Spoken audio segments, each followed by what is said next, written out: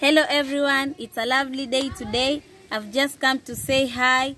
We've had the short rains, but you can see today it's sunny. It's a beautiful day. It's a relaxing weekend for me after the long days at school. We go to school 6 in the morning to 7 in the evening. It is not easy, but we are happy. The two days mean a lot to us that we get time get time off to relax, to do the school homework and things. Like today we are going to do our hairs. I've just been brushing it and it's nice to see you. It's nice to talk to you that I know very soon I'll be out of here because I'm in the third year. Next year will be my last year in high school. And I'm very happy to see you, to talk to you, and to tell you that you mean a lot to us.